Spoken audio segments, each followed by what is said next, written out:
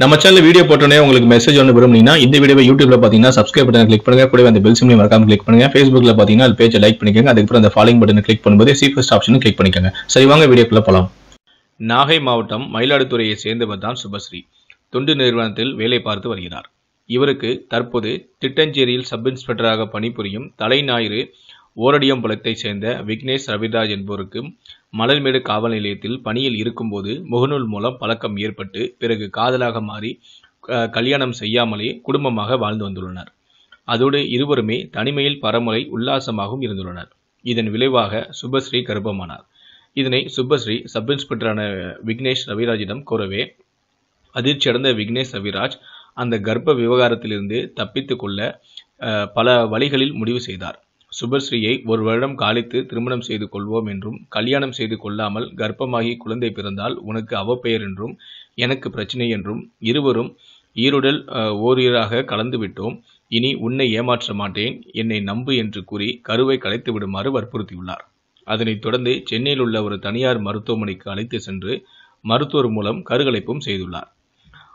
ஆசை அறுபது நாள் மோகம் முப்பது நாள் என்பது போல சுகத்தை அனுபவித்து கை கழுவிய சப் இன்ஸ்பெக்டர் நாளடைவில் சுபஸ்ரீயிடம் பேசுவதையும் தவிர்த்துள்ளார்.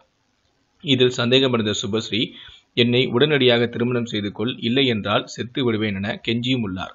இதற்கு கொஞ்சமும் இரக்கம் காட்டாத அந்த காவல்துறை சப் இன்ஸ்பெக்டரான விக்னேஷ் ரவிராஜ் தான் மக்களை பாதுகாக்கும் காவல்துறையில் இருப்பதையும் அதன் கௌரவத்தையும் குப்பையில் போட்டுவிட்டு இனிமேல் என்னிடம் பேசினாலோ இச்சம்பவம் வெளியில் கூறினாலோ உன்னையும் உன் குடும்பத்தையும் கொன்று புதைத்து விடுவேன்.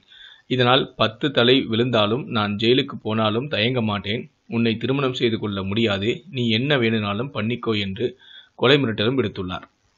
மேலும் அந்த ஆடியோவில் திருமணம் செய்து கொள்ளும்படி கதறியாடும் அந்த இளம் பெண்ணின் அவரது குடும்பத்தையும் கொச்சையான அருவருக்கத்தக்க வார்த்தைகளாலும் ஆபாச வார்த்தைகளாலும் ஒருமையில் பேசி மிரட்டலும் விடுக்கிறார்.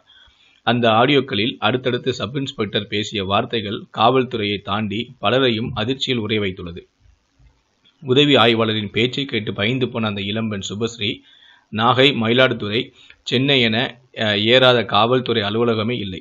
தன்னை கர்ப்பமாக்கி கொலை மிரட்டல் விடுத்த திட்டஞ்சேரி சப் இன்ஸ்பெக்டர் விவேக் ரவிராஜ் மீது நடவடிக்கை எடுக்க வேண்டுமென கெஞ்சி மண்டாடியது காவல்துறை அதிகாரிகளே இல்லை. ஒவ்வொரு இடத்திலும் தான் யார் தெரியுமா? அமைச்சர் ஓபிஎஸ் மணியனின் உறவுக்காரன். எனது தனது செல்வாக்கை பயன்படுத்தி நடவடிக்கை எடுக்காமல் தவிர்த்து வருகிறார்.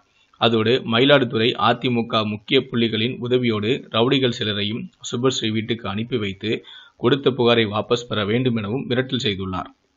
இது குறித்து அந்த பெண்ணிடம் விசாரித்த போது நான் நான் அனைத்து ஆடியோக்களும் போட்டோ ஆதாரங்களையும் கொடுத்துள்ளார்.